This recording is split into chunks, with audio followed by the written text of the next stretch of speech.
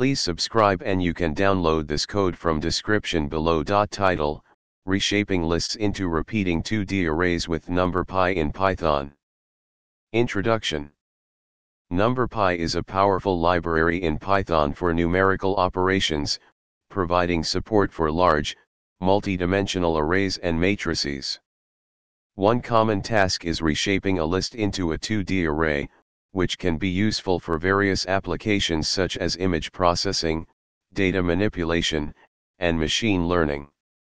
In this tutorial, we will explore how to reshape a list into a repeating 2D array using NumPy, along with code examples. Step 1, Install NumPy. Before getting started, make sure you have NumPy installed.